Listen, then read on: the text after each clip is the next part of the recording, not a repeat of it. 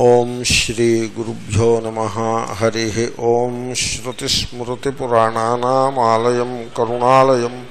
नमामि भगवत्पादशङ्करं लोकशङ्करम् ॐ सहनाववतु सहनौ भुन सह वीर्यङ्करवावहै तेजस्विनावधीतमस्तु मा विद्विषावहै। ఓం శాంతి శాంతి శాంతి సయత్తత్ర కించిత్ పశ్యతి. అనన్వాగతస్తేన భవతి. చాలా గొప్ప వాక్యాలు అవి. ఆ పురుషుడు స్వప్నమునందు ఏది దేనిని దేనిని చూస్తాడో దాని చేత వెంటబడేవాడు అవడు. అవి వెంటబడవు వెళ్ళి. అనన్వాగతస్థేన భవతి. స్వప్నంలో చూసినప్పుడు పరమ సత్యములుగా గోచరిస్తాయి కానీ స్వప్నం నుంచి బయటకు వస్తూనే వాటితోటి వీడికి బంధం వదిలిపోతుంది.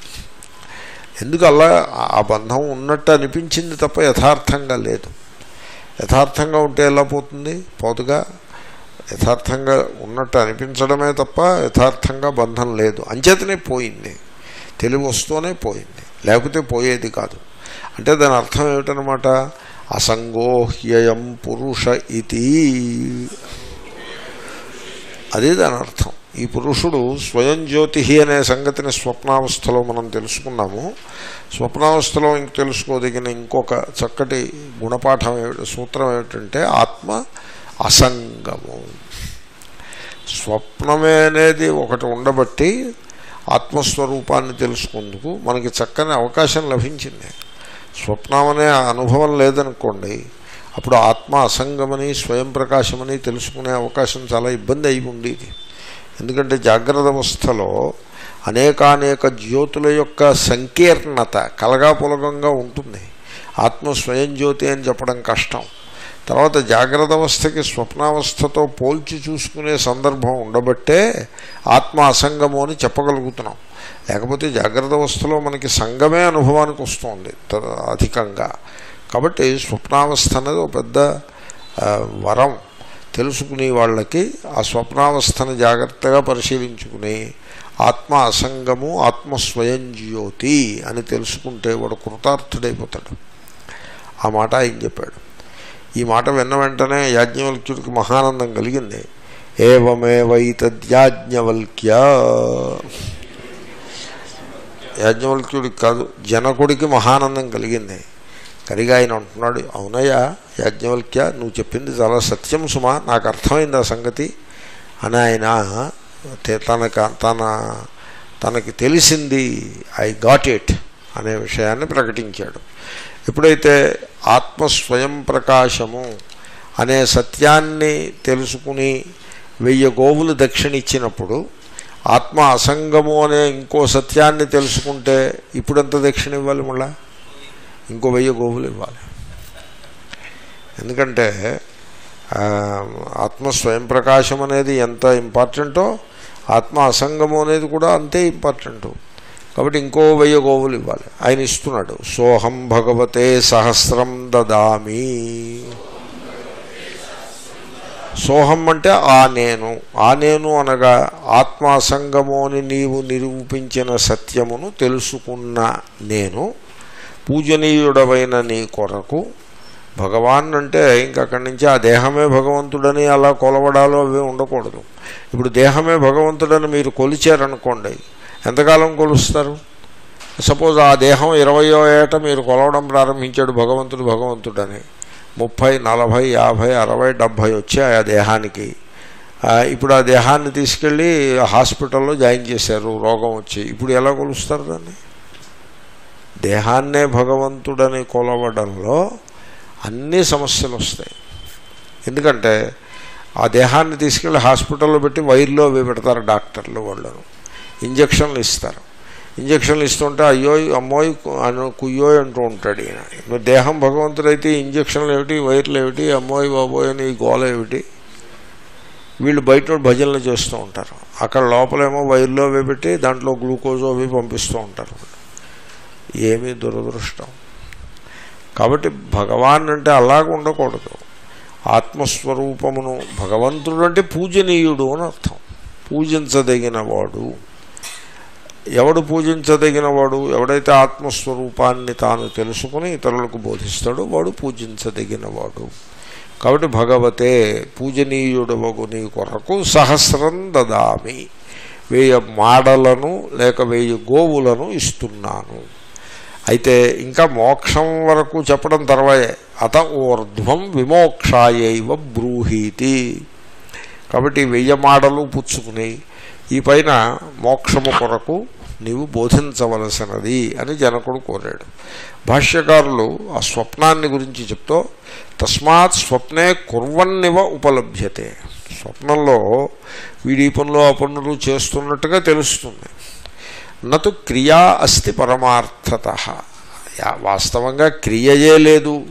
క్రియయే లేనప్పుడు ఆ క్రియకు నేను కర్తను అనే మాట ఎక్కడి నుంచి వస్తుంది? వాస్తవంగా స్వప్నంలో క్రియ కూడా లేదు. ఉతేవ స్త్రీభి సహమోదమాన ఇది శ్లోక ఉక్త మనం చూసాం స్వప్నావస్థని వర్ణించే శ్లోకము మనం చూసాం గడిచిన నాలుగు శ్లోకాలు వచ్చే దాంట్లో ఒకటది. అక్కడ ఈ స్త్రీలు పురుషులు అందరూ కలిసి డ్యాన్స్ ఏదో చేస్తున్నట్టుగా వాడికి స్వప్నం వస్తుంది. ఈ స్త్రీలు పురుషులు వాళ్ళకి సుఖానుభవం వచ్చినప్పుడు డ్యాన్స్ చేస్తూ ఉంటారు. ఇదో సంప్రదాయం. ఇది ఒక ట్రెడిషను. అది ఎక్కడి నుంచి వచ్చిందో అది బ్రిటిష్ వాళ్ళ దగ్గర నుంచి వచ్చింది. వాళ్ళ బ్రిటిష్ వాళ్ళు అంటగట్టారు మొత్తం అందరికీ. ప్రపంచానికి అటు అమెరికా వైపు ఇటు ఆస్ట్రేలియా వైపు ఇటు ఇండియా వైపు. ఆనందం కలిగినప్పుడల్లా ఉత్సాహం కలిగినప్పుడల్లా డ్యాన్స్ చేయటం అని. ఇప్పుడు మన భారతదే భారతీయులు వీళ్ళ బంధువులందరూ ఇప్పుడు సంక్రాంతికి బంధువులందరూ చోట చేరతారు. డ్యాన్స్ చేస్తారా? డ్యాన్స్ చేయరు. వీళ్ళ గోల ఇంకొకటి. వీళ్ళు గారెలు బూర్లు ఈ గోల వీళ్ళది. వాళ్ళది డ్యాన్సు. వాళ్ళందరూ కలిసి డ్యాన్స్ చేస్తారు. వీళ్ళందరూ కలిసి గారెలు బూర్లు అవి చేసుకు తిని ఒకళ్ళనొకళ్ళు తిట్టుకుంటూ ఏదో కాలక్షేపం చేస్తారు వీళ్ళు. ఎవరికోలో వాళ్ళది.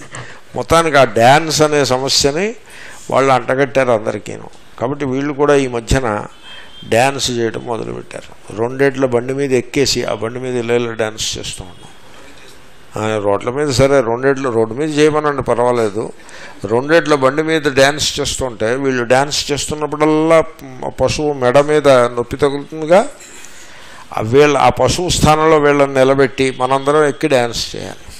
అప్పుడు వీళ్ళకి అర్థం అవుతుంది కాబట్టి అదంతా ఆ స్వప్నంలో చూశాడు.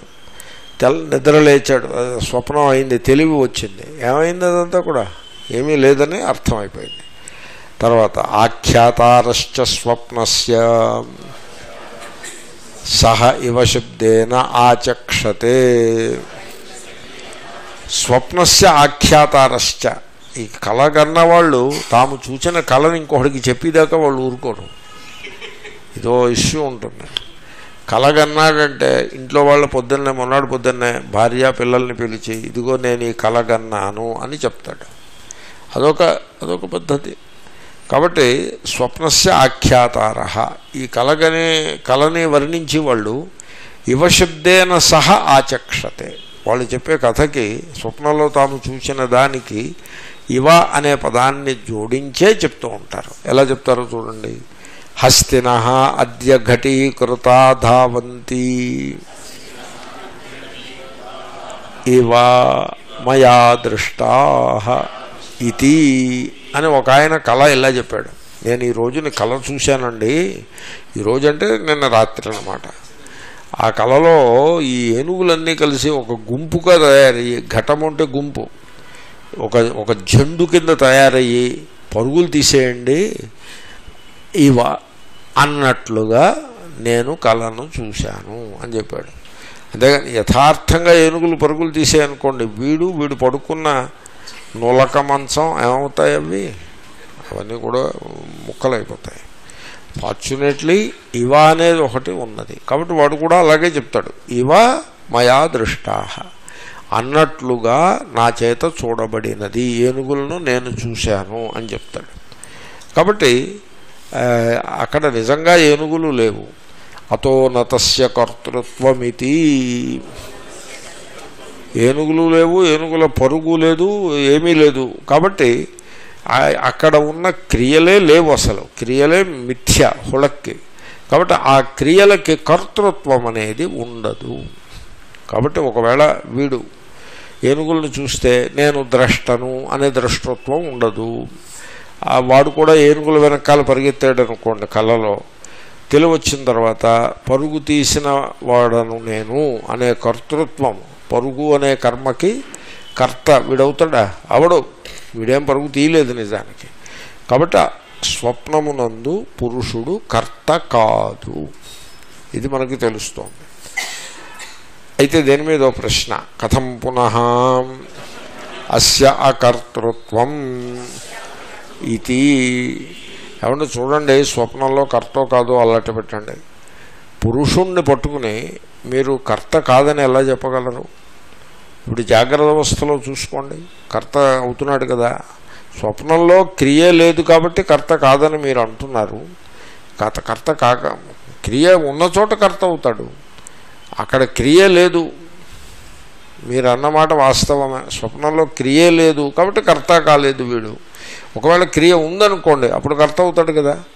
ఆ కర్తృత్వమే లే- లేదు అని మీరు ఎలా చెప్పగలరు? ఇది దాని మీద కొంచెం వివరణ. కార్యకరణై మూర్తై సంశ్లేషో మూర్తస్య సహాతు క్రియాహేతుర్దృష్ట. నేను మొన్న శంకర జయంతి నాడు చెప్దామని ట్రై చేశాను ప్రయత్నం చేశాను. సమయం తక్కువే. నేను కొంచెం అస్వస్థంగా ఉండేదో నాలుగు మాటలు ఇటు అటుగా చెప్పాను. నేను ఏమని చెప్పదలుచుకున్నానంటే శంకరాచార్యులు ఫిలాసఫర్ ఆయన. ఆయన థియలాజియన్ కాదు తాంత్రికుడు కాదు. ఈ భాష చూడండి ఆయన ఎలా మాట్లాడుతున్నారు? ఎక్కడైనా మీకు థియాలజీ యొక్క పొడ చూచాయగానైనా థియాలజీ ఎక్కడైనా కనపడిందా మీకు భాష్యాల్లో? అలాగే తంత్రం ఏదో త- తంత్రం అంటే మీకు తెలుసు ఊరికే నేను పాయింట్అవుట్ చేయనక్కర్లేదు. సర్వత్రా ఈ తంత్రం నడుస్తూ ఉంటుంది. సో ఈ తంత్రం ఎక్కడైనా ఒక పిసరంతైనా ఎక్కడైనా మీకు కనపడుతుందా అసలు? ఆయన ఎలా మాట్లాడుతున్నారో చూడండి ఆ మాట చూడండి. చూడండి మూర్తై మూర్తస్య సంశ్లేష.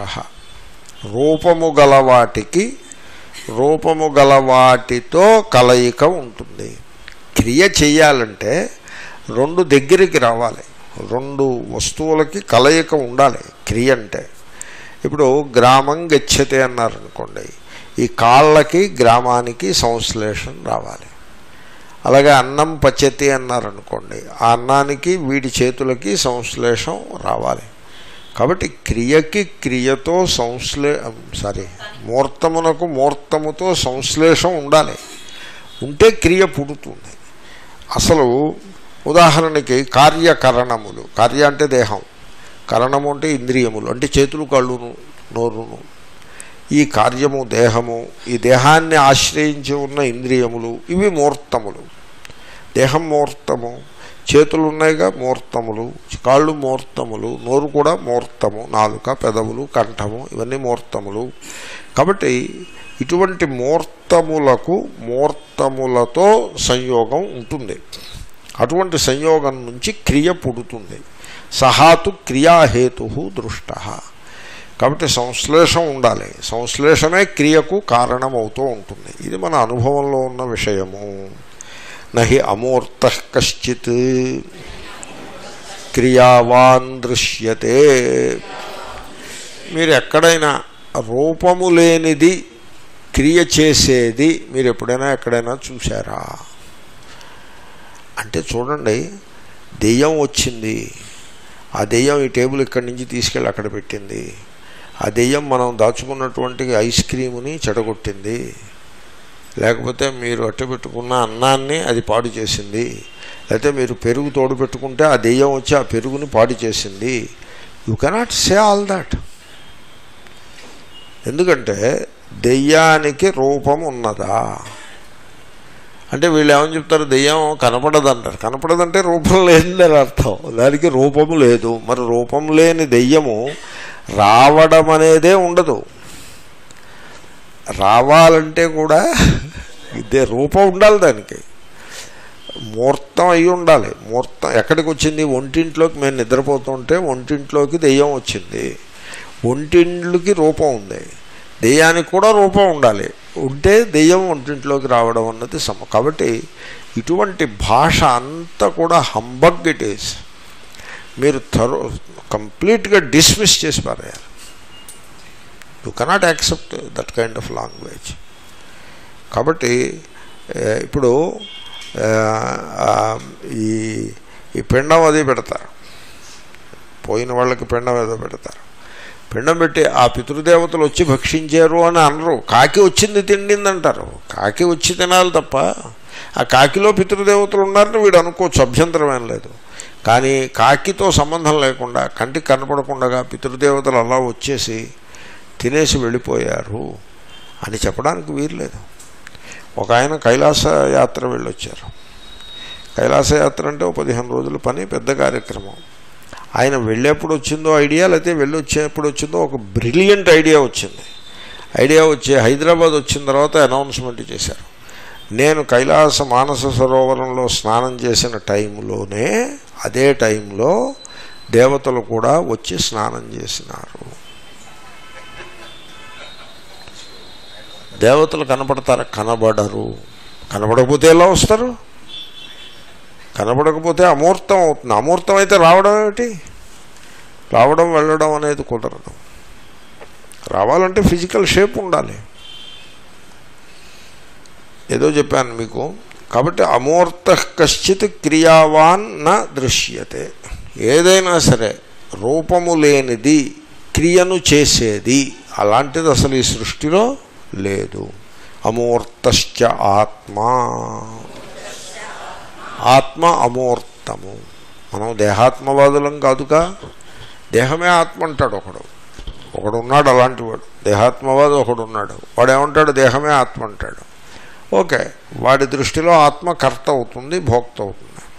కానీ మనం ఆ దేహమే ఆత్మని వాళ్ళం కాదు కదా మనం? ఈవెన్ కర్మకాండ చేసే వాళ్ళు కూడా దేహం ఆత్మ అనరు.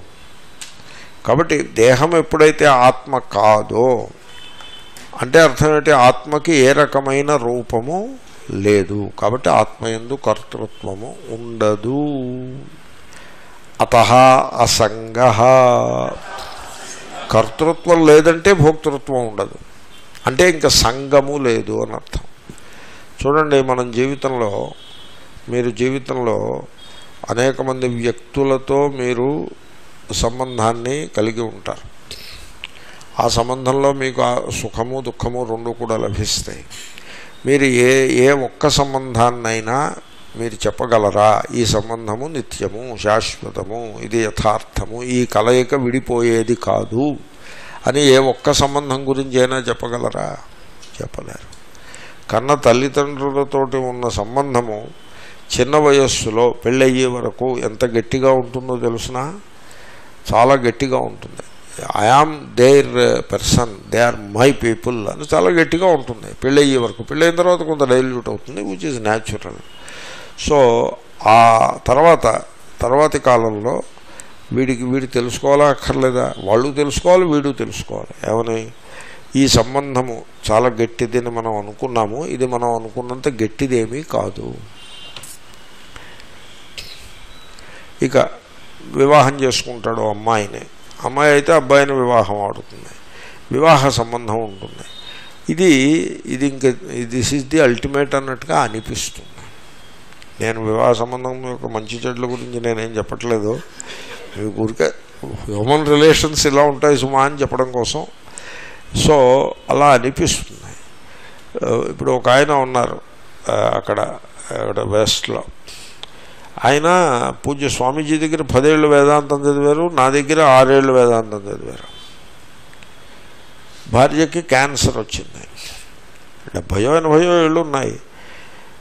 క్యాన్సర్ ఎప్పుడు వస్తుందో తెలిసినా మీకు? పెద్ద వయసు వచ్చేప్పటికి క్యాన్సర్ వస్తుంది. యూనో దాట్ ఇప్పుడు పెద్ద వయసు వచ్చేప్పటికి మోకాళ్ళ నొప్పులు వస్తాయా?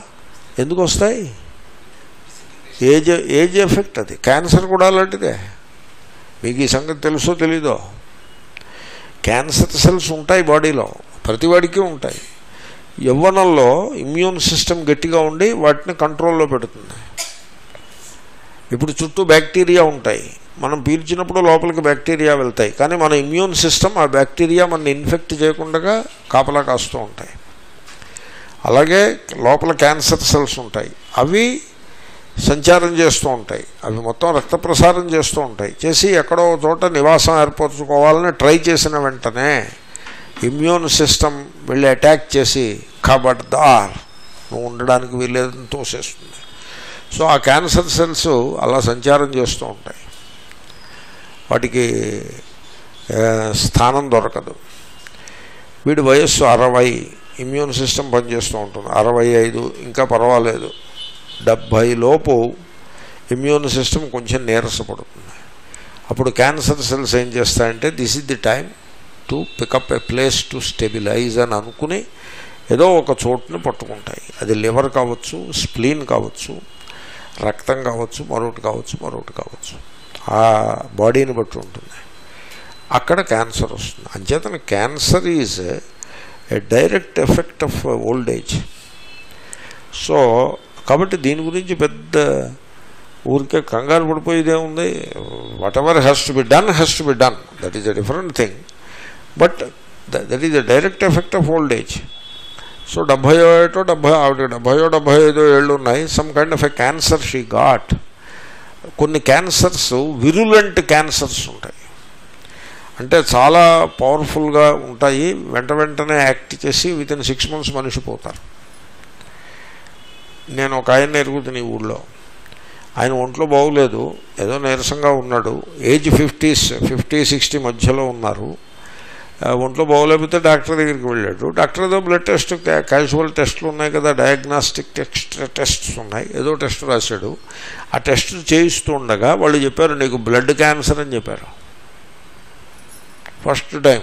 ఏదో వాంతులు చేసుకోవడానికి దానికి డాక్టర్ దగ్గరికి వెళ్తే బ్లడ్ క్యాన్సర్ అని డయాగ్నాసిస్. ఫోర్త్ డిగ్రీ అని చెప్పారు. అంటే ఫోర్త్ డిగ్రీ వచ్చేదాకా ఈయనకి అది ఏమీ అవ్వలేదన్నమాట. ఆ వయస్సు యొక్క బలం చేతనో దేనితోనో అది బయటపడలేదు. You you believe me I'm not exaggerating. ఈ మాట ఉదయం పది గంటలకి చెప్పారు. అతను బ్లడ్ ఇచ్చింది next earlier day twenty four hours తర్వాత బ్లడ్ టెస్ట్లు చూసి చెప్పారు ఇది. ఆ మొన్నాడు మధ్యాహ్నం నాలుగు గంటలకు పోయాడు అతను. మోస్ట్ విరులెంట్ క్యాన్సర్ అలా ఉంటుంది. ఇంకో కొన్ని క్యాన్సర్స్ ఉంటాయి. కొలోన్ క్యాన్సర్ అని ఉంటుంది. అమెరికాలో వాళ్ళు ఏమన్నారంటే డెబ్భై ఐదు తర్వాత ప్రతివాడికి వస్తుందన్నారు అది. కొలోన్ క్యాన్సర్ డెబ్భై ఐదు తర్వాత ప్రతివాడికి వస్తుందన్నారు. అండ్ ఈ క్యాన్సర్ ఉంది వీడికి అని చెప్పినట్లయితే నా ప నా జ్ఞానం అంతా మీ ముందు పెట్టేస్తున్నాను. ఉపయోగపడుతుంది. యూ నెవర్ నో తెలుసుకోవడంలో తప్పు లేదు. ఈ క్యాన్సర్ ఫలానా వాడికి ఉంది అని చెప్పినట్లయితే వాడు మానసికంగా కృంగిపోతాడు. అందుకోసం వాళ్ళు ఏమన్నారంటే డెబ్భై ఐదు తర్వాత అందరికీ వస్తుంది. కనుక cancer test colon cancer test band. After seventy five they won't do the test. Test చెయ్యరు. ఎందుకంటే టెస్ట్ చేసి దాన్ని గుర్తించి మందు ఇచ్చినా టెస్ట్ చేయకుండా దాని దారిని దాన్ని వదిలేసిన అవుట్కమ్ ఒక్కటే. అంచేతన వీడి మనస్సును ఎందుకు మనం దెబ్బతీయాలి? కాబట్టి నో టెస్ట్ ఇదంతా ఎందుకు చెప్పానంటే ఆమె పోయారు. ఆయన నా దగ్గరికి వచ్చారు. డివాస్టేటెడ్ అంటే నే ఏమిటండి ఇలా ఉన్నారు ఏమిటండి అంటే ఇలా అయిందండి. ఇదే ఇదేదో కొత్త సంగతి ఏదో అయినట్టుగా ఏమండి మాన సృష్టిలో మొట్టమొదటి వ్యక్తి మరణించడం అని ఫస్ట్ టైం ఫస్ట్ పర్సన్ పోవడం అన్నట్టుగా ఉంది ఏంటండి? పూజ స్వామీజీ దగ్గర మీరు పదేళ్ళు వేదాంతం చదివారు వేదాంత క్లాసులకు వస్తూ ఉండేవారు దండాలు అవి పెడుతూ ఉండేవారు. What is it that you have land అని నేను కోప్పడ్డాను. అప్పటికే ఆరు మాసాలు అయింది ఆవిడ పోయి. అని నేను కోప్పడ్డాను. నేను ఇక్కడ ఉండగా పోయారు ఆవిడ. కోపడ్డం అంటే కూకలేశాను. అంటే మరి వేదాంతం అంత తేలిక కాదు కదా. తేలిక కాదని మీరంటే అది కష్టం అవుతుంది. ఎందుకు తేలిక కాదు? యునో ఆత్మ అసంగ. ఎప్పుడు వినలేదా మీరు? ఏ సంబంధము కూడా ఇంపెర్మనెంట్ ఏ సంబంధమైనా ఇంపెర్మనెంట్ మీరు ఇల్లు కట్టుకుంటారు. తెలుగులో సామెత వచ్చింది. ఇల్లు కట్టి చూడు పెళ్ళి చేసి చూడు అని. అంటే ఆడపిల్ల పెళ్ళి చేయటం అంత కఠినమైన విషయం అది. అలాగే ఇల్లు కట్టుకోవడం అంత కఠినమైన విషయం. ఓ చిన్న ముక్క ప్లాట్ ఒకటి సంపాదించి దాంట్లో ఓ ఇల్లు నిలబెట్టడం అన్నది చాలా కఠినమైన విషయం. అది వీడు చేస్తాడు. ఆ ఇల్లు నేనే ఇల్లు ఇల్లే నేను అన్నట్టుగా జడ పదార్థముపై స్వత్వభావాన్ని పెట్టుకుని ఉంటాడు. ఆ సంబంధము ఈజ్ ఇట్ పెర్మనెంట్ నో బంగారాన్ని పోగేస్తారు. ఇది స్త్రీలు చేస్తూ ఉంటారు. ఆధునిక స్త్రీలలో ఈ వ్యామోహం తక్కువ. మన పూర్వం స్త్రీలలో చూడండి మన ముందు తరం అన్ని అవక అవలక్షణాలు మన ముందు తరం వాళ్ళలో ఉన్నాయి. అన్ని అవలక్షణాలు. ఒక్క లక్షణం సరికాదు. ఆర్థడాక్స్ పీపుల్ని చూస్తే అన్ని అవలక్షణాలు ఉంటాయి. నేను ఈవేళ పొద్దున్న అనుకో ఇంతకుముందు చదివిందే మళ్ళీ చదివాను. నాయన కావ్యకంఠ గణపతిముని యొక్క జీవిత చరిత్ర చదువుతో ఆయన నాలుగు మార్పులు వస్తే కానీ భారతదేశం బాగుపడదన్నారు. అని వన్ టూ త్రీ ఫోర్ చెప్పారు ఆయన. ఒకటి వేద మంత్రములపై పురుషులకు స్త్రీలకు సర్వవర్ణముల వారికి సమానమైన అధికారము గలదు. వీళ్ళందరూ కూడా వేద మంత్రములను వాళ్ళ వాళ్ళకు తగిన మంత్రములను స్వీకరించి వాటిని ఉచ్చరిస్తూ గృహములు ఉండవల ఉండాలి నెంబర్ వన్. అప్పుడే దేశం బాగుపడుతుంది. దేశం బాగుపడడానికి ఫార్ములా ఇచ్చాడు ఆయన. ఇది నెంబర్ వన్ ఇచ్చాడు. రెండు మన ఋషుల యొక్క మన ఋషుల యొక్క జీవితములను వారి సందేశములను నల్లబరిచే అంటే బ్లాక్గా తయారు చేసేటువంటి ఎందుకు కొరగాని కథలు ఏవైతే పురాణములలో నిండా ఉన్నాయో వాటినన్నిటినీ తొలగించి పురాణముల నుండి వాటిని తొలగించి పురాణముల నుండి కవుల యొక్క ప్రబంధాలలో కూడా ఈ ఈ కొరగాని కథలు చేరాయి. వాటిని అక్కడి నుంచి తొలగించి కవులు కూడా ఈ అయోగ్యములైన కథల మీద మళ్ళీ కావ్యాలు రాసేటువంటి అలవాటును కవులు కూడా మానుకుని మనము ఈ దుష్టగాథల యొక్క సంప్రదాయం నుంచి బయటపడాలి. అది రెండో ఫార్ములా. ఈ భాష అంతా ఆయన భాషే నా భాష కాదు. ఆయన అన్న మాటలే నేను అంటున్నా. నేనేం కంఠస్థం చేసి మీకు చెప్పట్లేదు. నేను చదివాను కదా నాకు గుర్తున్నది చెప్తున్నా. ఇది రెండో ఫార్ములా. మూడవది అస్పృశ్యతకు విరోధం. ఆయన ఏమన్నారంటే ఆయన చెప్పిన లాజిక్ మీరు ఇంట్లో ఉంటారు. ఇంట్లో మీరేవో నియమాన్ని పాటిస్తూ అనుష్ఠానం చేసుకుంటూ ఉంటారు. మీరు పాటించే నియమము మీరు చేసే అనుష్ఠానము ఇంట్లో వాళ్ళందరూ పాటించాలి అని మీరు పెట్టుకోరు. ఇప్పుడు ఏకాదశి ఉపవాసం ఉన్నారనుకోండి నేను ఉపవాసం ఉంటా. ఇంట్లో వాళ్ళందరూ ఉండాలి అని నేను పెట్టుకోను. నేను ఉపవాసం ఉంటా. కాబట్టి మన నిష్ఠ నియమములను మనం వ్యక్తిగతముగా అట్టపెట్టుకుని ఇంట్లో కుటుంబ సభ్యులకు వాళ్ళ నెత్తిన ఈ నిష్ఠా నియమములను రుద్దేటువంటి ప్రయత్నం మనం చేయట్లేదు. ఎవళ్ళు చేయట్లేదు ఆ పని. కానీ సమాజ జీవనంలోకి వచ్చేప్పటికీ వాడెవడో అస్పృశ్యుడనే నియమము నిష్ఠ నువ్వు పెట్టుకుని ఆ నియమాన్ని నిష్ఠాన్ని నిష్టని నీ వ్యక్తిగత నియమ నిష్టలని మొత్తం సమాజం అంతా కూడా రుద్దేటువంటి ప్రయత్నం నువ్వు ఎందుకు చేస్తావు? నీ నీ వ్యక్తిగత నియమ నిష్టలని కుటుంబం వాళ్ళ మీద రుద్దవు. కానీ సమాజం మీద రుద్దే ప్రయత్నం ఎందుకు చేస్తావు నువ్వు? నీకు అస్పృశ్యత ఉండాలనుకుంటే నువ్వు ఓ మూలకు పోయి కూర్చో. ఎవరిని ముట్టుకోకుండా ఓ మూల కూర్చో. అంతే తప్ప అస్పృశ్యత అనేది ఒక ధర్మం అంటూ నువ్వు ఏకాదశి ఉపవాసం చేస్తూ ఇంట్లో వాళ్ళందరూ ఏకాదశి ఉపవాసం చేయాలని పట్టుపట్టావా? లేదు కదా. మరి మొత్తం సమాజం అంతా కూడా అస్పృశ్యతని పాటించాలని ఎందుకు పట్టుపడతావు? కాబట్టి దీన్ని తరిమి కొట్టవలేను. అది మూడో మాట. నాలుగోది ఇంకొకటి ఉంది. నవ్ యూ కెన్ అండర్స్టాండ్ ఆయన్ని ఆ రోజుల్లో ఆయన ఆయన ఎంత విప్లవాత్మక ధోరణి గలవాడో చెప్పండి. పంతొమ్మిది వందల ఇరవైలో ఇలా ఉండేవాడు ఆయన. నో సర్ప్రైజ్ ఆయన్ని ఆనాటి భారతీయ స- ఆనాటి సమాజం గుర్తించలేదు ఆయన్ని. ఆయన్ని పక్కన పెట్టారు. ఆయన కావ్యకంఠ బిరుదాన్ని బెంగాల్ వెళ్ళి తెచ్చుకొచ్చాడు ఆయన. బెంగాల్ వాళ్ళు కావ్యకంఠ అనే బిరుదం ఇచ్చి సత్కారం చేశారు. కా- నవద్వీపంలో. ఆంధ్రదేశంలో ఆయనకి ఏ సత్కారం ఆయనకి మంచినీళ్ళు కూడా ఇవ్వలేదు వీళ్ళు. ఆయన మెళ్ళో మాల కూడా వేయలేదు. ఆయన బెంగాల్ వాళ్ళు ఇచ్చారు కావ్యకంఠ అనేటువంటి బిరుదాన్ని. కాబట్టి సో ఇదంతా ఎందుకు చెప్పానంటే ఎందుకు చెప్పాను ఇదంతాను? అసంగ అసంగ ఏ సంబంధమైనా. బంగారం పోగేసేవాళ్ళు మన పూర్వీకులు బంగారం పోగేసేవారు. నాతో మన మిత్రులు మాట చెప్పారు మన పూర్వం వాళ్ళ లాయర్స్ మన పూర్వ సం- మన పూర్వ మన చిన్నపాళ్ళు మన పెద్దల యొక్క సమాజంలో అంటే up to nineteen eighty nineteen seventies eighties వరకు నైన్టీన్ హండ్రెడ్ నుంచి నైన్టీన్ సెవెంటీస్ ఎయిటీస్ వరకు లాయర్లందరూ కూడా ఆస్తి తగాదాల కేసులని సివిల్ కేసులని నడిపించి వాళ్ళు బాగుపడ్డారు. ఇప్పుడు ఇప్పుడు కూడా ఆయన దాంట్లో ఉన్నారు కాబట్టి ఆయన ఇప్పుడు కూడా అంటున్నారు.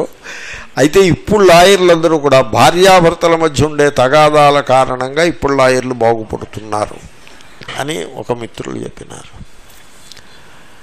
ఆస్తి తగాదాలు బంగారం గురించి తగాదాలు బంగారం పోగేయడం ఏ వ్యక్తి అయినా తనకు బంగారానికి మధ్య నుండే సంబంధాన్ని ఎవరైనా నిలబెట్టుకోగలరా?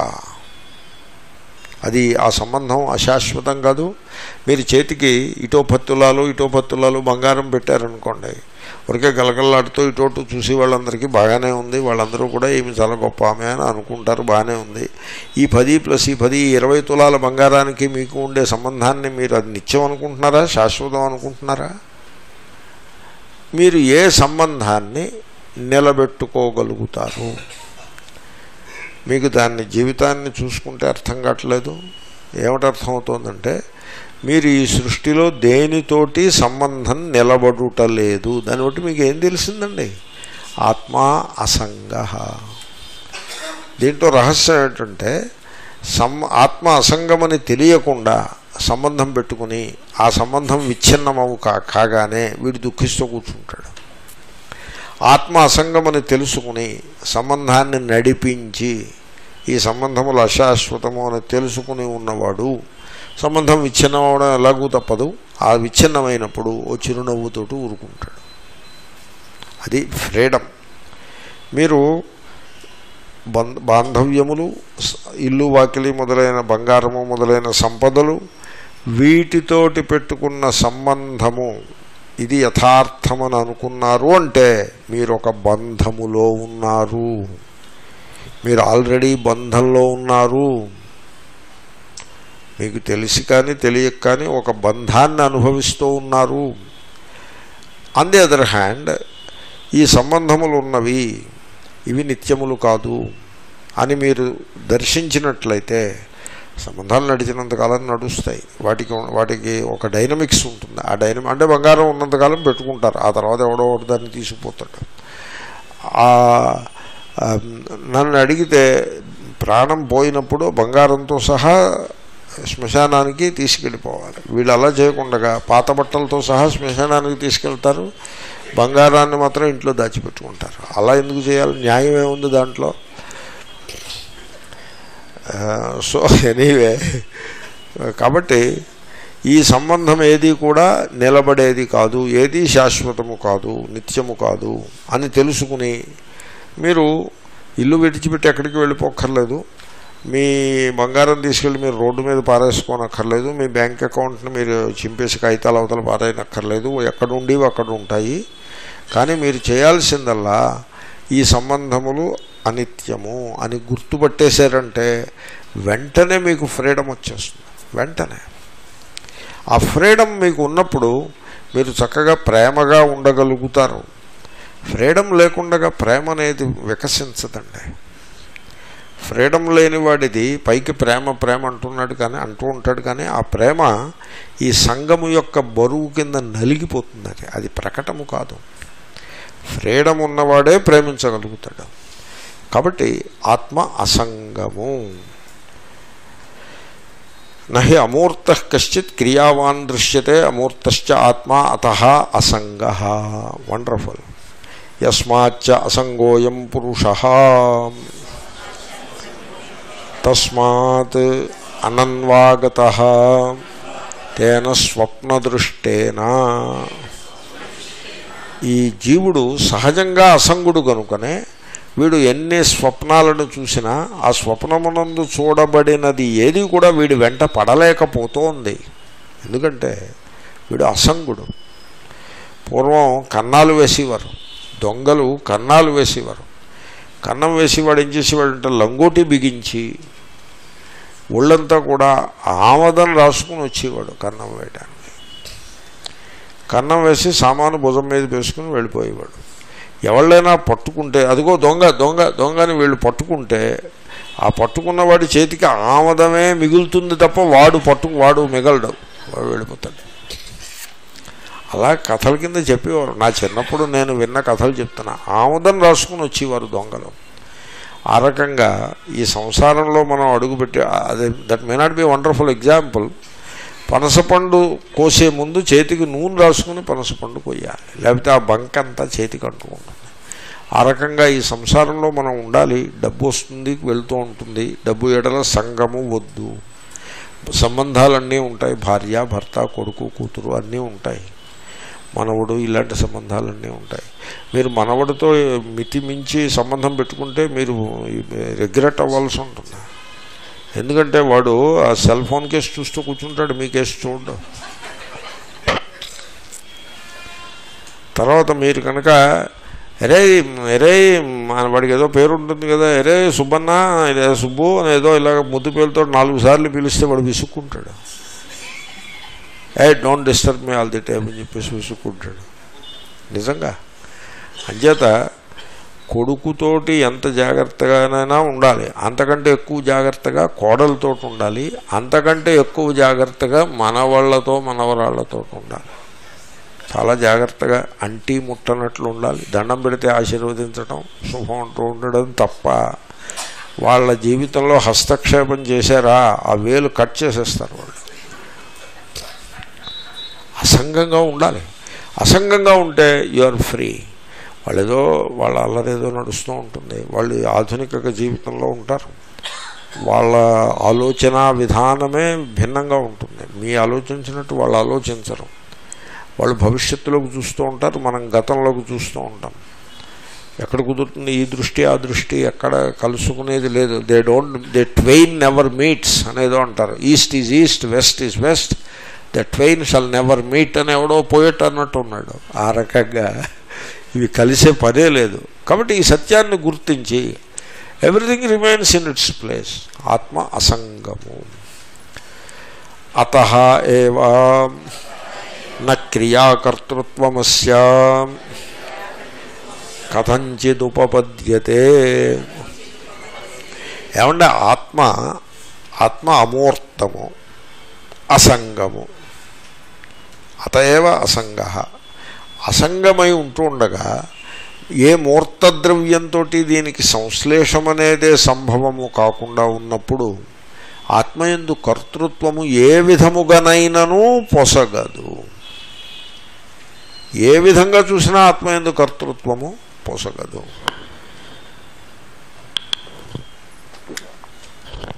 ఒక ఆయన నాతో అన్నారు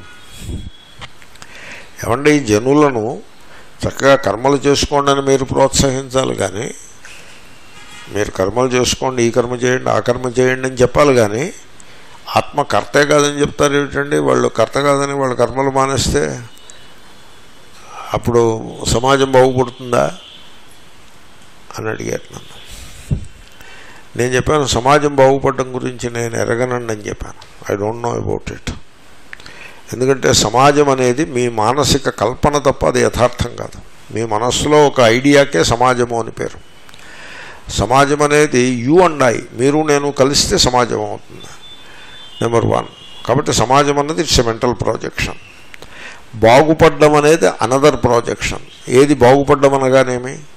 వీళ్ళందరూ కలిసి బ్రహ్మోత్సవాలు ఇవి ఇవి చేసి బాణాసంచాలు కాలుస్తూ ఉంటే బాగుపడ్డట. లేకపోతే పూర్వం వాళ్ళలాగా ముక్కు మూసుకున్న మూల కూర్చొని ధ్యానం చేసుకుంటే చెడిపోయినట్ట? అసలు బాగుపడ్డం అనగానేమి? చెడిపోవడం అనగానేమి? Are they not they are your projections number two number three జగ వరల్డ్ని మీరు మార్చాల్సిందేమీ లేదు మీరు మారాల్సినదే గలదు. Number three number four you should go for the truth మీరెప్పుడు సత్యంని అన్వేషించాలి తప్ప సమాజాన్ని బాగు చేస్తాననే పేరుతోటి అసత్యాన్ని పట్టుకోరాదు. You should go for the truth and truth is ఆత్మ అకర్త. నాకు ఇంత మాత్రమే తెలుసు. కాబట్టి నేను వీధి వీధిలో పోతున్న వాడిని పిలిచి ఆత్మకర్త అని నేను వాడికి ఏం చెప్పను. లేకపోతే ఎక్కడైనా యజ్ఞం చేస్తుంటే అక్కడికి వెళ్ళి ఆత్మకర్త అని నేను చెప్పను.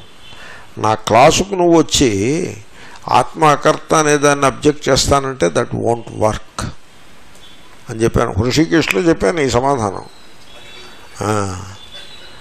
నా క్లాసుకు వచ్చి ఆత్మకర్త కాకుండా కర్తని చెప్పంటావా నన్ను? ఇది చెప్పండి మీరు ఎవరైనా పాఠం చెప్పండి ఆత్మకర్త అని. ఈ వాక్యాలు చదివి చెప్పాలి మీరు.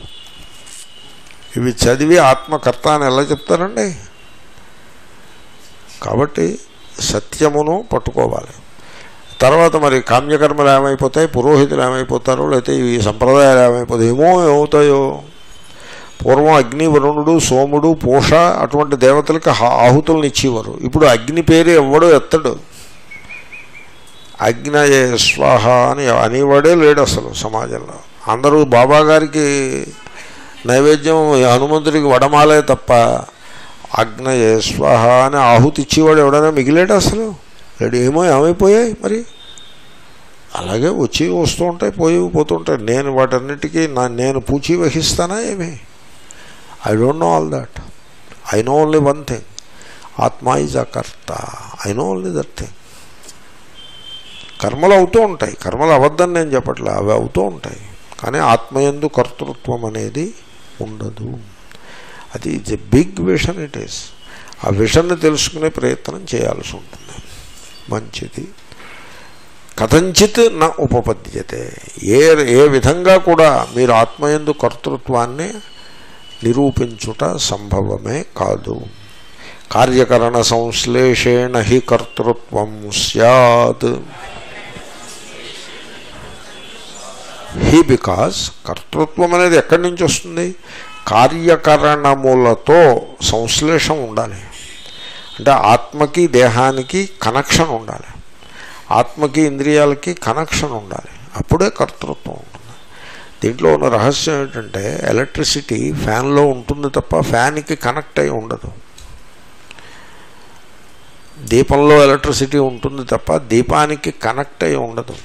దీపానికి కనెక్ట్ అయి ఉందనుకోండి దీపం చెడితే ఎలక్ట్రిసిటీ చెడుతుంది. దీపం ఆరిపోతే ఎలక్ట్రిసిటీ ఆరిపోతుంది. దీపం పుడితే ఎలక్ట్రిసిటీ పుడుతుంది. అది కనెక్ట్ అవ్వడం అంటే. అలా ఉంటుందా? కనెక్ట్ అయి ఉంటుందా? ఉండదు. దీని రహస్యం ఏమిటంటే అంచేతనే శంకరులు దృష్టాంతం ఏం చెప్పారంటే నీటిలో సూర్యుడి ప్రతిబింబము అన్నారు. నీటిలో సూర్యుడి ప్రతిబింబం కనబడుతుంది. కానీ నీటితో సూర్యుడికి ఏ సంబంధము ఉండదు. అలాగే కార్యకరణముల యందు ఆత్మ చైతన్యం ప్రతిఫలిస్తూ ఉంటుంది. కానీ కార్యకరణములతో ఆత్మ చైతన్యానికి సంశ్లేషము ఉండదు. చూడండి మీరు దేనిని తెలుసుకుంటున్నారో అది మీకంటే ఇతరముగానే ఉంటుంది. మీకు తెలిసేది సర్వము మీకంటే ఇతరముగా ఉంటుంది. మీకు చెయ్యి తెలుస్తోంది. చేతిని మీరు చూస్తున్నారు. చెయ్యి మిమ్మల్ని చూడదు. మీరు చేతిని చూస్తారు తప్ప చెయ్యి మిమ్మల్ని చూడదు. చెయ్యి మీకు తెలుస్తూ ఉంటుంది. కాబట్టి మీకంటే ఇతరముగానే ఉంటుంది చెయ్య. కాబట్టి చేతి ఉన్న కర్తృత్వము మీకు సంక్రమించదు. కనుక ఆత్మ కర్త ఎన్నటికీ అవదు సచ సంశ్లేష సంగ అస్య నాస్తి. అస్య ఆత్మన ఈ ఆత్మకి అట్టి సంశ్లేషము అనగా సంగము లేదు. యత అసంగోహ్యయం పురుష. తస్మాదమృత. ఆత్మ అసంగము కనుకనే అమృతము. అమృతం అంటే మరణము లేనిది. చూడండి మరణించేదేదో అది మరణిస్తుంది. ఎందుకని? పుట్టింది కనుక ఏది మ- ఏది పుట్టిందో అది మరణిస్తుంది. ఏది పుట్టిందో అది మరణిస్తుంది. మీరు పుట్టను లేదు మీరు మరణించబోరు. ఈ కఠోరమైన సత్యాన్ని మనిషి పట్టుకోవాల్సి ఉంటుంది. మనిషి ఒక భయంకరమైన కండిషనింగ్లో పడిపోతాడు. ఆ కండిషనింగ్ ఏమిటంటే నువ్వు పుట్టేవు నువ్వు పుట్టేవు నువ్వు పుట్టేవు అనే కండిషనింగ్లో పడిపోతాడు. పూర్వం వాళ్ళకి ఆ కండిషనింగ్ చాలా అల్పంగా ఉండేది. అసలు ఉండేదే కాదు చాలా తక్కువ ఉండేది. ఉదాహరణకి నేను మా అమ్మగారు రెండు మూడు సార్లు అంటూ ఉండగా విన్నాను. నువ్వు ఫలానా నక్షత్రంలో పుట్టావురా అని ఆవిడ ఏదో ఓసారో రెండు మూడుసార్లు మూడు సార్లు అంది. ఆ మాట నాకు గుర్తు. దాన్ని బట్టి నా నక్షత్రం నాకు తెలిసింది. లేకపోతే నా నక్షత్రం నాకు తెలిసే ఛాన్సే లేదు. రెండు సార్లు మూడు సార్లు అన్నారు. అంతే. వాళ్ళు పూర్వం వాళ్ళు బర్త్డే అనేది ఎరగరు వాళ్ళు అసలు. దే డోంట్ నో దాట్ కాబట్టి నేను పుట్టాను అనే సంస్కారము అంత బలంగా ఉండేది కాదు. అంత బలమైన సంస్కారం ఉండేది కాదు. తరువాతి కాలంలో ఆ బలమే ఆ సంస్కారం ప్రవేశించింది. పుట్టినరోజుని కర్మ చేయడం అనేది తరువాతి కాలంలో డెవలప్ అయినటువంటి కర్మ. ఇప్పుడు మీరు చెప్పండి కారు కొన్నప్పుడు హనుమంతుడి దేవాలయానికి తీసుకెళ్ళి దానికి పూజ చేసి దేవుడికి వడమాల వేయడం అన్నది యాజ్ఞవల్క్యుడు జనక మహారాజు వాళ్ళ కాలంలో ఉందా? ఈ మధ్యన వచ్చిందా అది? అరే నిన్నగాక మొన్న వచ్చిందండి. ఈ మధ్యన వచ్చింది అది. గత పాతిక ముప్పై ఏళ్ళలో ప్రచారంలోకి వచ్చింది. ఎవడో ఒకడు మొదలుపెట్టాడు. కారు అంటే చాలా ఖరీదైంది కదా. అది తర్వాత యాక్సిడెంట్ అయ్యే ప్రమాదం ఉంటుంది. యాక్సిడెంట్ అయితే కారు దెబ్బతింటుంది వీడి దెబ్బతింటాడు ఇంకొకటి దెబ్బతింటాడు వీడి మీద కేసు ఉంటుంది. ఇది మల్టీ మల్టీ రిస్క్ ఇది. మల్టీపర్పస్ ప్రాజెక్ట్ లాగా multi risk project. Car car ఖరీదైన కారు పోతుంది. తన పోతాడు ఇంకొకడు పోతాడు. దానికి వీడి రెస్పాన్సిబిలిటీ పెట్టుకోవాల్సి ఉంటుంది. ఇన్ని మల్టీ రిస్క్ ఉంది. అందుకోసం వీడికి భయం ఎక్కువ. అందుకోసం ఈ భయం అనేప్పటికీ హనుమంతుడు కారుకి హనుమంతుడికి సంబంధం. ఎందుకంటే కారు అంటే భయం ఉంటుంది. కారంటే అంటే వీడి ఇన్సెక్యూరిటీ ఎక్కువ ఉంటుంది. ఆ ఇన్సెక్యూరిటీకి తగ్గట్టుగా హనుమంతుడు. హను హనుమంతుడు వడమాల నేను ఈ మధ్యన నాలుగైదు సార్లు ప్రస్తావించాను. మీరు ఆలోచించండి. వడమాల అన్నది ఈ మధ్యన ఎవరో మొదలుపెట్టింది అవునంటారా కాదంటారా? గత గత ముప్పై నలభై మా చిన్నప్పుడు ఉండేది కాదు. మా చిన్నప్పుడు వడమాల లేదు. ఫస్ట్ టైం నాకు ఎవరో వడ పెట్టారు హనుమంతుడు వడని. అప్పుడు నేను కొంచెం ఆశ్చర్యపోయాను. ఇవాళ పొద్దున్న ఒక కోత వచ్చింది. సరే దానికి పండేదో ఇచ్చాను. తీసుకుని వెళ్ళిపోయింది. అది ఎక్కడో పెయింట్ పట్టించుకుని వచ్చింది. కోత అంటే దాని స్వభావం మీకు తెలుసు కదా. అది ఎక్కడో దేనిలో వెళ్ళి ఎక్కడో దొల్లింది లేకపోతే దేనితోటో ఆడింది లాగింది ఆ పెయింట్ పట్టించుకుని వచ్చింది. ఆ పెయింట్ రెడ్ పెయింట్. నేను అనుకున్నా వీళ్ళు దేవాలయాల్లో హనుమంతుడికి రెడ్ పెయింట్ పూస్తూ ఉంటారు. ఇగో ఇక్కడ కోతి ఎక్కడో రెడ్ పెయింట్ పట్టించుకుని వచ్చింది. తీరా బయటకు వస్తే అక్కడ గాంధీ హాస్పిటల్ గోడ మీద అడ్వర్టైజ్మెంట్లు రాస్తున్నారు వాళ్ళు. దానికి వైట్ బ్యాక్గ్రౌండ్లో రెడ్ పెయింట్ తోటి అడ్వర్టైజ్మెంట్లు అది అది పట్టించుకుని వచ్చింది ఈ కోతి. దీనికి అక్కడ ఆ గోడ మీద ఆ పెయింట్ ఎందుకు చెప్పండి దీనికి? కోతి అంటే మరి అలాగే ఉంటుంది. అక్కడ వెళ్ళి అది పట్టించుకొచ్చింది. సో హనుమంతుడికి విగ్రహం అంతా మీరు సింధూరం పట్టించి ఓ ఒక పురుకు మా వడలన్నీ కట్టి అవి ఆ హనుమంతుడికి వేసి ఒక గంట రెండు గంటలో నాలుగు గంటలో అలా అట్టిపెట్టి అప్పుడు దాన్ని ప్రసాదం అని చెప్పేసి అలా పంచిపెడితే అది there are issues with it there are problems and issues with it ప్రసాదం అయితే కొంత పవిత్రంగా మనం భావన చేసి నోట్లో వేసుకుంటాం. ఇంకా దాన్ని ఆసరాగా చేసుకుని ఇంకా మీరు ప్రతిదీ అలా ప్రసాదం అని జనాల మీద పుష్ చేస్తూ ఉంటే మీరు జనాలను ఇబ్బంది పెట్టినట్టు అవుతుంది. కాబట్టి తీర్థము ప్రసాదము అని ఓ- ఒకప్పుడు కాలం వేరు ఇప్పుడు కాలం వేరు. ఊరికే ఇదిగో తీర్థం ఉండో అదిగో ప్రసాదం ఉండో అని మీరు అలా పుష్ చేయకూడదు. లీవ్ పీపుల్ ఎల్లో ఎవరికి కావాల్సిన తీర్థ ప్రసాదాలు వాళ్ళు సంపాదించుకుంటారు. మీరు తీసుకొచ్చి పుష్ చేయాల్సిన అవసరం ఏమీ లేదు. దే విల్ గెట్ తీర్థం ప్రసాదం వాళ్ళు they will get their way anyway it's a different point చూసారా అయ్య రామ అంటే అంత పెద్ద ఎస్టాబ్లిష్మెంట్లో అవుతాయి. పెద్ద ఎస్టాబ్లిష్మెంట్ పెట్టుకున్నప్పుడు ఏవో కొన్ని ఈ ప్రాణులు వస్తూ ఉంటాయి. You cannot avoid all the time mass స్కేల్లో అసలు తిరుపతిలో లడ్డూలు అన్నది it's a later development. It is it is not there Annamayya కాలంలో లేదు అది. అన్నమయ్య లడ్డూల మీద కీర్తన నేను రాయలేదు. ఉండుంటే ఏదో కీర్తనలో ఎక్కడో మాట రాసి ఉండేవాడు. నీకు నైవేద్యం పెట్టిన లడ్డూని తిని నేను ఆనందపడ్డాను ఏదో ఓ మాట రాసి ఉండేవాడు. అన్నమయ్య రాయలేదు తరిగొండ వెంగమాంబ రాయలేదు కాబట్టి ఈ మధ్యకాలంలో ఎవరో మొదలు పెట్టారు. ఇట్ స్టార్టెడ్ ఎనీవే అదంతా some kind of a diversion యత అసంగోహ్యేయం పురుష తస్మాత్ అమృత కాబట్టి పుట్టుక దేనికి uh, కాబట్టి ఆ కండిషనింగ్ ఆ కండిషనింగ్ నుంచి మీరు బయటపడాలి.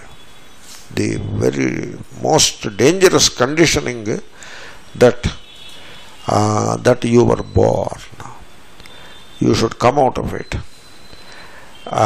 కాబట్టి పుట్టినరోజు ఇలాంటి వాల్యూస్ మీరు పుట్టినరోజు చేసుకుని బంధువులందరినీ పిలిచి పురోహితులను పిలిచి చక్కగా పెద్ద యజ్ఞం ఒకటి చేసి ఓ పదివేల రూపాయలు ఖర్చు పెట్టారనుకోండి దాంతో ఏమైపోతుంది? ఆ కండిషనింగ్ ఏమైపోతుంది? చాలా బలపడిపోతుంది. అప్పుడు ఆత్మ అమృత అని ఎలా చెప్పగలరు? లేకపోతే ఏమవుతుందో తెలుసునండి. ఆత్మ అమృత అని మీరు తెలుసుకోలేదనుకోండి. అప్పుడు ఏమవుతుందో తెలుసునండి? We will be waiting for death ముఖ్యంగా ఏదో యంగ్ పీపుల్ ఏదో హడావిడిగా డబ్బు సంపాదించుకుని హడావిడి ఏదో ఉంటారు. Versus we are oldies and we are just waiting for death can you believe it అలా ఉండకూడదు. వెయిటింగ్ ఫర్ డెత్ అన్నట్టుగా ఉండకూడదు. Death happens to the body I am in my presence in my being in my awareness అలా ఉండాలి కానీ లేకపోతే ఏవో పుట్టినరోజు చేసుకోవడం waiting for death eighty second పుట్టినరోజు చేసుకునే I hope I will be around for eighty third birthday అని అని సందేశం. సందేశం అంటే అదే బంధువులందరూ వచ్చి కంగ్రాచులేషన్స్ ఇవేవే చెప్పినప్పుడు వాళ్ళందరికీ కలిపి సామూహికంగా thanks చెప్పేప్పుడు thank all of you for your good wishes on the eighty second birthday of mine అనేప్పటికీ అప్పుడే శంక I hope I will be around for eighty third birthday people are just waiting to die so అలా ఉండకూడదు. One should not wait to die one should wait to know that truth అంతే తప్ప not to die తస్మాత్ అమృత. దీన్ని మనిషి పట్టుకోవాలి. One has to hold on to that ఏవమేవ ఏతద్యాజ్ఞవల్క్యా. ఆయన పట్టేసుకున్నాడు అప్పుడే ఈయన చెప్పగానే పట్టేసుకున్నాడు. ఏ ఓ యాజ్ఞవల్క్య మీరు చెప్పింది perfect it is indeed so సహా అహం భగవతే సహస్రం దదామి. నేను పూజనీయుడైన నీ కొరకు సహా అహం అంటే మీ చేత పొందబడిన ఉపదేశము గలవాడనై ఆ ఉపదేశమును సాక్షాత్కరించుకున్న నేను అని అర్థం. పూజనీయులైన తమరికి తమరి కొరకు సహస్రం దదామి. వెయ్యి మాడలను లేక వెయ్యి గోవులను ఇస్తున్నాను. అత ఊర్ధ్వం విమోక్షాయైవ బ్రూహి. కాబట్టి ఈ పైన మీరు మోక్షము కొరకు వివరించి చెప్పండి. అంటే ఇంకా మీరు చెప్పేది నాకు మన బుద్ధికి వచ్చేటప్పటికి ఇంకా మోక్షం జీవన్ముక్తి కలిగిపోవాలి. అలాంటిది మీరు బోధించగలరు. అంటే మిగతా విషయాలు చెప్పక్కర్లేదా? అంటే మిగతా విషయాలు చెప్పారు కదా సార్. లైక్ వాట్ మోక్ష పదార్థైకదేశస్య కర్మ ప్రవివేకస్య సమ్యక్ దర్శితత్వాత్ మోక్షము మోక్షమనే తత్వం ఏదైతే గలదో దాంట్లో ఒక అంశము కర్మ వివేకము అదేమిటంటే కర్మ ఉంటుంది తప్ప నేను కర్తను కాను అనే వివేకము మోక్షతత్వంలో ఒక అంశము. దాన్ని మీరు చక్కగా చాలా చక్కగా నిరూపించినారు. ఇప్పుడు చూడండి జీవితంలో వచ్చేవి వస్తూ ఉంటాయి. ఆ వచ్చి వాటికి రెస్పాన్సెస్ ఉంటాయి. స్పాంటేనియస్గా ఉంటాయి రెస్పాన్సెస్ ఇప్పుడు సూర్యుడు రాబోతున్నాడు తెల్లవారబోతోంది. అప్పుడు మీకు విధి ఉండాలా? ఇది బ్రష్ పెట్టు బ్రష్ తీసుకో దానికి పేస్ట్ పెట్టు దాంతో బ్రష్ యువర్ టీత్ అని విధి ఉండాలా? అని శాస్త్రం చెప్తూ ఉండాలా మీకు? అది అత్యంత సహజంగా అవదది దానికోసం కర్తృత్వం అవసరమా?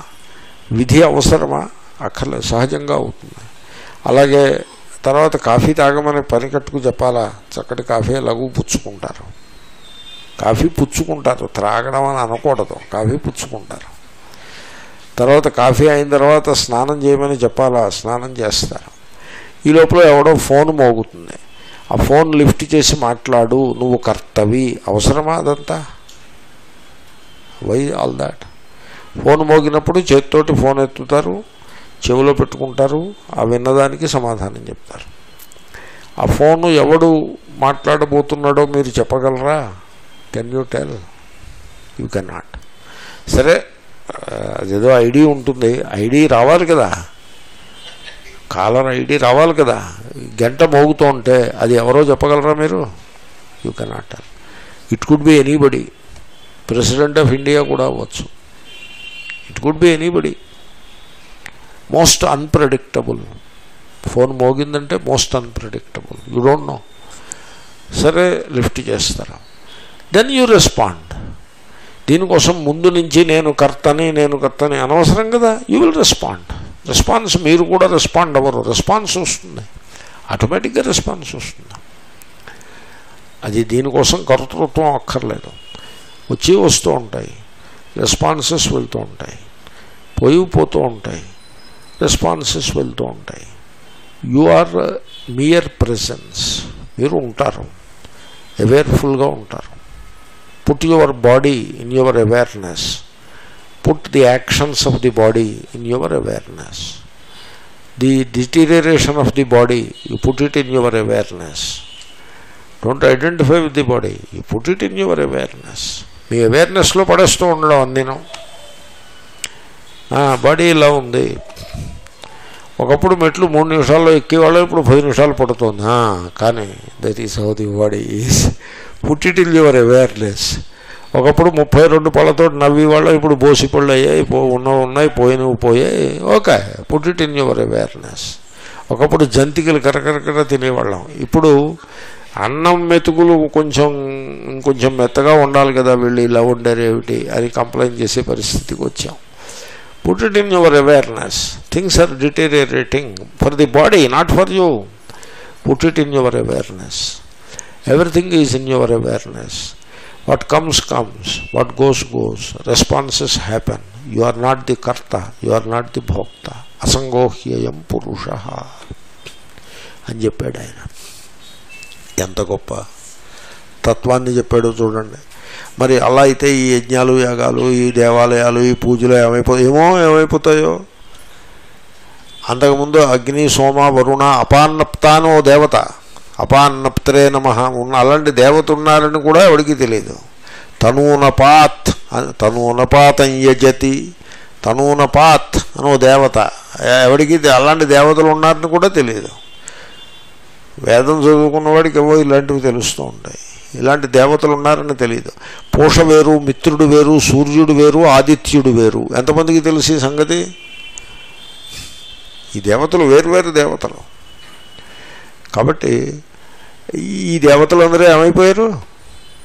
ఎవరైనా అసలు స్మరిస్తున్నారా ఈ దేవతల్ని? కావ్యకంఠ గణపతి ముని ఇంద్ర సహస్రనామం రాశారు. ఇంద్ర సహస్రనామం ఇంద్రాణి రాశారు ఇంద్ర రాశారు. ఇంద్ర సహస్రనామం ఎందుకు రాశారంటే ఈ పురాణాలు ఇంద్రుని యొక్క ఇంద్రుని యొక్క ప్రతిష్టను దిగజార్చినవి అయోగ్యమైన కథలని.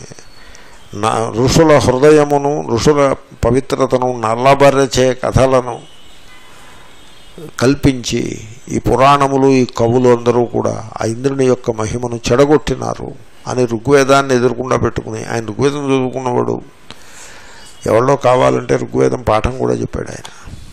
ఋగ్వేదాన్ని ఎదుర్కొండా పెట్టుకుని ఆ ఋగ్వేద మంత్రాల్లో ఉన్నటువంటి ఆ ఇంద్రుని యొక్క నామములను తీసి సహస్రనామ స్తోత్రం రాశాడు ఆయన. ఇంద్ర సహస్రనామం. దానికి ముందు ఫలశ్రుతి కూడా రాశాడు. ఇంద్రుడు అంటే సాక్షాత్ పరమేశ్వరుడే.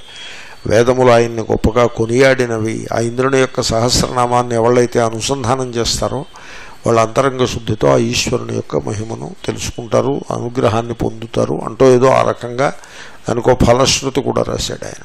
ఆశ్చర్యం కలుగుతుంది. కాబట్టి ఈ రోజుల్లో ఎక్కడ ఎవళ్ళు పూజ ఇంద్రుడికి ఒక్క దేవాలయం మీకు ఎక్కడైనా కనపడిందా?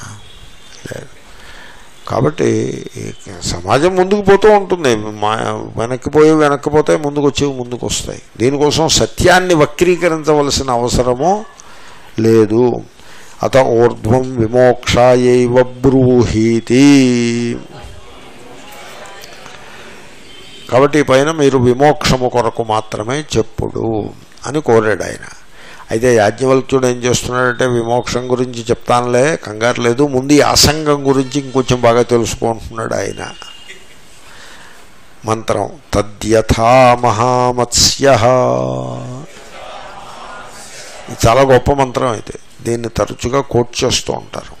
ఉభే కూలే అనుసంచరతి. పూర్వంచాపరంచ ఏమేవాయం పురుష. ఏతావుభావంతావనుసంచరతి. స్వప్నాంతంచ బుద్ధాంతంచ. అవతారిక. దృష్టాంతమాత్రమవశిష్టం. తద్వక్ష్యామి ఇది ఆరభ్యతే. ఆయన వెయ్యి గోవులు ఇచ్చేసి ఇంకా మోక్షం కొరకు చెప్పామన్నాడు. కానీ అసంగ ఆత్మ అసంగము అన్నదానికి దృష్టాంతం చెప్పలేదు. అది ఇంకా మిగిలే ఉంది. కాబట్టి శిష్యుడు కంగారు పడ్డా గురువు గారు కంగారు పడరు. ఆయన దృష్టాంతం మిగిలిందయా మోక్షం కంగారు లేదు ఆత్మ అసంగానికి దృష్టాంతము. అది చెప్తాను అని మొదలు పెడుతున్నాడు. తద్యథ. అది ఎలాగంటే యథ అంటే లోకంలో ఉన్న దృష్టాంతాన్ని చెప్పబోతున్నారు. తత్ అంటే ఆత్మ యొక్క అసంగత్వము అనే విషయము ఆ విషయమునందు యథా లోకంలో దృష్టాంతం ఎలాగంటే పెద్ద చేప మహామత్స్య పెద్ద చేప. గంగా నదిలో లేకపోతే గోదావరిలో పెద్ద చేప ఒకటి ఉన్నది. పెద్దది. పెద్ద చేపలు తక్కువ లోతుగా ఉండే ఒడ్డుకి రావు. ఒడ్డుకు వచ్చిందనుకోండి దాని బాడీని అది అది అది హర్ట్ అయిపోతుంది. తిమింగలం ఒడ్డుకు వస్తే అది చచ్చిపోతుంది అది. ఎందుకంటే ఒడ్డు మీద దాని అడుగుని బెల్లి అంతా కూడా ఈ రాళ్ళు ఇవన్నీ తగిలి అది గాయాలైపోతాయి రక్తం కారిపోతుంది. అది వెళ్ళలేదు మళ్ళీ వెనక్కి. మళ్ళీ లోతుల్లోకి వెళ్ళలేదు. షిప్పు కానీ పెద్ద చేప కానీ ఒడ్డుకి రావు.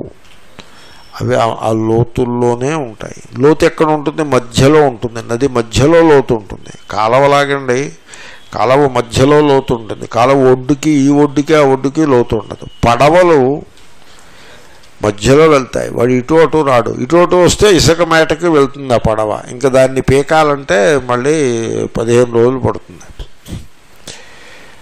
అది మహామత్స్యం. పెద్ద చేప. ఈ పిల్ల చేపలు కావు. పిల్ల చేపలు మీరు నీళ్ళలో దిగ్గానే వచ్చి కాళ్ళ దగ్గర గోకుతూ ఉంటాయి. మన కాళ్ళకి ఇబ్బంది కలిగిస్తూ. ఆ వాటి గురించి చెప్పట్లేదు. పెద్ద చేప. అది ఉభే కూలే అనుసంచరతి. రెండు ఒడ్డులకి వైపు క్రమంగా సంచరిస్తూ ఉంటుంది. అంటే ఓవైపు ఎడమవైపు ఒడ్డు వైపుకు వెళ్తుంది. ఒడ్డు దగ్గరికి వెళ్ళిపోదు. ఇంకోవైపు కుడివైపు ఒడ్డు వైపుకు వస్తుంది. ఒడ్డు వైపుకి వెళ్ళిపోదు ఒడ్డులోకి వెళ్ళిపోదు. ఆ లోపలే ఉంటూ ఇటు అటు చేప ఇలా వెళ్ళదండి. ఇలా వెళ్తూ ఉంటుంది. ఇలా వెళ్తున్నప్పుడు ఎడమవైపు ఒడ్డుకి వైపు వచ్చింది. అలా వెళ్తున్నప్పుడు కుడివైపు ఒడ్డు వైపు వచ్చి అలా పోతూ ఉంటుంది. ఉభయ కూలే. తర్వాత ఏ కూలములు అంటే ఒడ్డులు. ఏ ఒడ్డులు? పూర్వంచ అపరంచ. కుడివైపువి ఎడమవైపువి అయితే ముందు ఉన్నది దూరంగా ఉన్నది. ముందున్న ఒడ్డు మీరు యువతల ఒడ్డు మీద ఉన్నారనుకోండి ఇది పూర్వము అది అపరము. అలాగే ఈ పురుషుడు కూడా పురుషుడు అంటే జీవుడు వీడు కూడా జాగ్రత్త అవస్థ స్వప్నావస్థ అనే అంతము అంటే అవస్థ. అనే రెండు ఒడ్ల మధ్యలో చైతన్య ప్రవాహంలో పోతూ ఉంటాడంతే. జాగ్రత్త అవస్థ అనేది ఒక ఒడ్డు. ఆ ఒడ్డుకి సంఘం ఉండదు. ఒడ్డుతో ఐడెంటిఫై అవ్వడు. ఆ ఒడ్డు వైపు వస్తాడంతే. అది జాగ్రత్త వస్తే ఎంతసేపు ఉంటుంది? కొన్ని గంటలు ఉంటుంది. అయిపోతుంది. మళ్ళీ నిద్రలోకి పోతాడు. నిద్రలో స్వప్నం వస్తుంది. ఆ ఒడ్డు వైపు వెళ్ళాడు ఈసారి. చేపకి ఒడ్డుతో సంబంధం ఉండదు. అది అలాగే వీడికి స్వప్నావస్థతోటి సంబంధం ఉండదు. జాగ్రత్త అవస్థతోటి కూడా సంబంధం ఉండదు. స్వప్నావస్థ ఎట్టిదియో జాగ్రత్త అవస్థ కూడా అట్టిదియే. నేనేదో పాఠం చెప్తున్నా. కొద్దిపాటి వేదాంతం చదువుతారు కదా పిల్లలు కుర్రాళ్ళు ఏదో కొద్ది వేదాంతం చదువుతారు. రెండేళ్ళు మూడేళ్ళు ఏదో వేదాంతం చదువుతారు. బ్రహ్మచారులుగా ఉండి చదువుతారు. గాడ్ ప్లస్ నేనేదో పాఠం చెప్తున్నా. పాఠం చెప్తుంటే ఏమంటే మీరు జా- ఏమిటి స్వప్నావస్థ జాగ్రత్త అవస్థ ఒకటే అనేస్తారు ఏమిటండి? There is the difference between the two అనేదో చెప్పబోయాడు నేను చెప్పాను చూడు తాతకి దగ్గులు నేర్పే ప్రయత్నం నువ్వు చేయి కూర్చోమని చెప్పాను. కూర్చో. నువ్వు నిన్నగాక మొన్నే కదా క్లాసుకి వచ్చావు. కాదండి నేను అంతకుముందు నువ్వు అంతకుముందు చదివింది ఏదో చదివావు. నా క్లాసుకి ఎప్పుడు వచ్చావు నువ్వు? నిన్నగా నిన్న వచ్చావు ఇవాళ వచ్చావు. ఇంకో ఆరు మాసాలు వచ్చాక ప్రశ్న వెద్దువు కానీ అంతవరకు ప్రశ్న వేకు కాదు నేను నువ్వు చదివింది కూడా నాకు చెప్పొద్దు. నువ్వు నా క్లాసుకి రా ఆరు మాసాలు. ఆ తర్వాత నేను నీతో మాట్లాడతా. అంతవరకు నీతోటి నేను స్వప్నావస్థ గురించి జాగ్రత్త అవస్థ గురించి మాట్లాడినాం. చాలదు నీ స్టడీ చాలదనమాట చక్కగా చక్కగా కూర్చో అమ్మా కూర్చో. అని చెప్పి లేకపోతే ఈ కుర్రాళ్ళు వాళ్ళకి ఏం తెలుస్తుంది?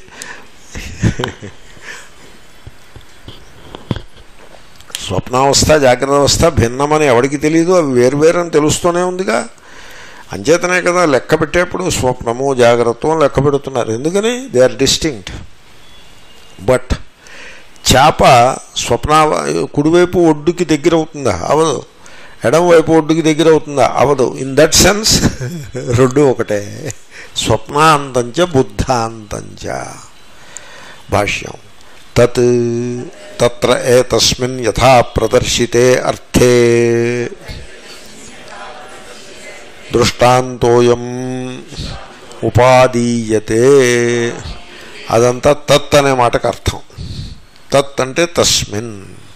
అంటే తత్ అంటే తత్ర తత్ర అన్న తస్మిన్ ఒకటే. తత్ర తత్ర అంటే దాని విషయమై విషయ సప్తమే అంటారు.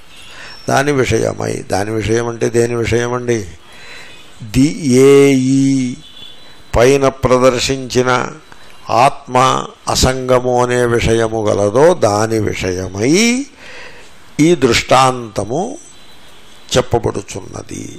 యథా దృష్టాంతం ఎప్పుడు కూడా యథాతో మొదలవుతుంది. ఎలాగంటే యథ ఎక్కడంటే లోకంలో ఉన్న దృష్టాంతం ఇవ్వాలి. ఎప్పుడు కూడా మీరు దృష్టాంతం లోకంలో ఉన్నది ఇవ్వాలి. లోకంలో లేనిది ఇవ్వకూడదు. ఇప్పుడు మీరు దృష్టాంత ఇప్పుడు ఉదాహరణకి మీరు శచీదేవి ఇంద్రుడితోటి ఉన్నట్టుగా ప్రేమగా ఉండాలి అని ఇచ్చారనుకోండి దృష్టాంతం. ఎవరికి తెలుస్తుంది అది? అలాగేదో పురాణం నుంచి పట్టుకొచ్చి ఇవ్వకూడదు. ఎక్కడ శచీదేవి ఎవరు ఇంద్రుడు ఎవరు? మనకి తెలుసున్నది కాదు కదా. మనం ఏం చేయాలంటే చూడు వాళ్ళిద్దరూ చిలక గోరింకలా ప్రేమగా ఉన్నారు అలా ఉండాలమ్మా అని ఏదో ఎదురుకుండా కనపడే దృష్టాంతం ఇవ్వాల్సి ఉంటుంది. ఎప్పుడూ దృష్టాంతం అలా ఉండాలి. చాలామంది ఈ సంగతి కూడా తెలుసుకోరు. ఏవేవో దృష్టాంతాలు పురాణ దృష్టాంతాలు ఇస్తారు. పురాణ దృష్టాంతం ఎవరికి తెలియదు అది. దానివల్ల మనం అనుకుంటున్న విషయం మీద క్లారిఫికేషన్ రాదు. ఎందుకంటే తెలియదు కదా అది. బ్యాడ్ లక్ అస్తు సో లోకంలో ఇలా ఉంటుంది. ఎలాగా? మహామత్స్య మహాంచ అసౌ మత్స్యశ్చ పెద్ద చేప. దీనికి చిన్న వ్యాకరణం. మహత్ ప్రాతిపదిక. మహత్ ప్రాతిపదిక. మహాన్నని ప్రథమ ఏకవచనం. మహత్ మత్స్య సమాసం చేసినప్పుడు ఇప్పుడు మహత్తులో ఉండే అత్ టీ అచోంచాది టీ. సో ఆన్ మహత సమానాధికరణ జాతీయయో అనే సూత్రం చేత ఆ అత్తు పోయి ఆ వస్తుంది. మహామత్స్య అవుతుంది. ఓకే? సో పెద్ద చేప. పెద్ద చేప అంటే ఏమిటండి అర్థం? నాదేయేన స్రోతస. ఆహార్య అక్కడ ఆహార్య అని ఉందా ఏమి? దీర్ఘం ఉండకూడదు హ్రస్వం ఉండాలి. దీర్ఘం ఉండకూడదు దిద్దుకోండి. అది పెద్ద పుస్తకంలో దిద్దుకునే దిద్దే ఉంటుంది. ఇక్కడ ఈ పుస్తకంలో అలా వచ్చింది. నాదేయన స్రోతస ఆహార్య ఇత్యర్థ అంటే అర్థం ఏంటో తెలుసిన? నదికి చెందిన నీటి ప్రవాహముచే కొట్టుకుపోబడేది కాదు అని అర్థం. ఇప్పుడు చిన్న చేప ఉందనుకోండి పైనుంచి ఇలా నీరు ప్రవాహం వస్తే ఎటు ప్రవాహం పోతే అటే పోతుంది అది కూడాను. అలా కొట్టుకుపోతుంది అది. ఆ ప్రవాహం గట్టు వైపుకుంటే ఇది ఈ చిన్న చేప గట్టుది మీద పడుతుంది వచ్చి అలా అవ్వదు పెద్ద చేప ప్రవాహానికి కొట్టుకుపోదు. ఎంత ప్రవాహం ఉన్నా కూడా ఇట్ హోల్డ్స్ ఇట్స్ పొజిషన్ పెద్ద చేప కదా అది. అదే అర్థం. అటువంటి పెద్ద చేప మాత్రమే ఈ ఒడ్డుకి ఆ ఒడ్డుకి తగలకుండా మధ్యలో ఉంటుంది. అదే దృష్టాంతం అవుతుంది. లేకపోతే ఈ ప్రవాహానికి ఈ ఒడ్డుకి ఆ ప్రవాహానికి ఆ ఒడ్డుకి పోతే దృష్టాంతం అవుతాం. మనం అలా బతకూడదు. జాగ్రత్త అవస్థలో ఏవేవో అవుతూ ఉంటాయి. ఏవేవో అవుతూ ఉంటాయి. మనం ఇష్టపడ్డవి దూరం అవుతాయి. మనం అంత ఇష్టం కాదనుకున్నవి దగ్గర అవుతూ ఉంటాయి. ఏవేవో అవుతూ ఉంటాయి. మనం అలాగ సాక్షిగా అవేర్ఫుల్గా మిగిలిపోవాలి అంతే అంతేగాని ఊరికే యూ షుడ్ నాట్ క్రై. అయ్యో అమ్మో అంటూ అలాగా ఏడవకూడదు. Just be quiet be simple. Be watchful. Be awareful. And if you can be happy. Be happy. హ్యాపీగా ఉండడం మీ జన్మ హక్కు అది. దాన్ని ఎవడూ మీకు ఇచ్చేది కాదు ఎవడూ తీసుకుపోయేది కాదు. Be happy. మీరు హ్యాపీగా ఉన్నారని ఊరంతా చెప్పక్కర్లేదు. డ్యాన్స్ చేసి బాణాసంచా కాల్చి అలాంటి పిచ్చి వేషాలు అనవసరం. Be happy. Be quiet be simple be awareful వచ్చేది వస్తూ ఉంటుంది పోయేది పోతూ ఉంటుంది. ఈ జాగ్రత్త అవస్థలో ఎక్కడ వాస్తవికత లేదు. స్వప్నం కూడా అంతే. మీరు జాగ్రత్త అవస్థలో అలా అవేర్ఫుల్గా సాక్షిగా ఉన్నారనుకోండి మీకు స్వప్నాలు కూడా రావు ఇంకా. ఒకవేళ వచ్చితే రానివ్వండి మీ సొమ్మేం పోయేప్పుడు స్వప్నం మీకేం రాదు మనస్సుకు వస్తుంది. మనస్సు స్వప్నంలో ఏదో కొంత కోతిగెంతులు వేస్తుంది వేనివ్వండి. You you are not going to be bound by the by the dream same way జాగ్రత్త అవస్థ ఎందు కూడా మీరు అటువంటి అసంగతను అభ్యాసం చేయాలి. బి అసంగ. సో కొమ్మరి పురుగు వలె కొమ్మరి పురుగు బురదలో ఉంటుంది కానీ బురద అంటుకోదు. దానికి బురద అంటదు. సో అలాగ అసంగంగా just allow things to happen ఎవరో వచ్చి వాళ్ళు వస్తారు వెళ్ళి వాళ్ళు వెళ్తారు. వెళ్ళొస్తూ ఉంటాం శుభం. మిమ్మల్ని చూడడానికి వస్తున్నాం రండి. వెళ్ళిపోతా ఉండి మేము వెళ్ళిపోండి. ఈ డబ్బు మీద సరే అక్కడ పెట్టు. ఈ డబ్బు మేము పట్టుకుపోతాం పట్టుకో పట్టుకుపో. ఈ బంగారం పట్టుకు పట్టుకోండి మీరు ఏవి పట్టుకుపోతే అంత క్షేమం. ఏమీ లేకుండా when I do not have anything I own everything అంతే. అలా ఉండిపోవాలి. తర్వాత you be happy everything is fine కాదండి అది బాగోలేదు ఫైన్ ఇట్ ఈస్ ఫైన్ కాదండి క్యాన్సర్ ఇట్ ఈస్ ఫైన్ నేను క్యాన్సర్ కథ ఎందుకు చెప్పాను? It is fine it is it is all right it is all right ఎప్పుడప్పుడు పోయిదే కదా దేహం దానికి ఏదో పేరు పెట్టాలి కాబట్టి క్యాన్సర్ అన్నారు. ఇట్ ఈస్ ఫైన్ దానికి కొంత మందు వేసి వేసుకో ఇట్ ఈస్ ఫైన్ నొప్పి నొప్పి వస్తే don't identify with pain don't identify you externalize the pain first physical పెయిన్ని you externalize it you don't identify and then put your pain in in your awareness put the pain in your awareness be aware of the pain అంతే it is not you you should know that Om పూర్ణముద Purna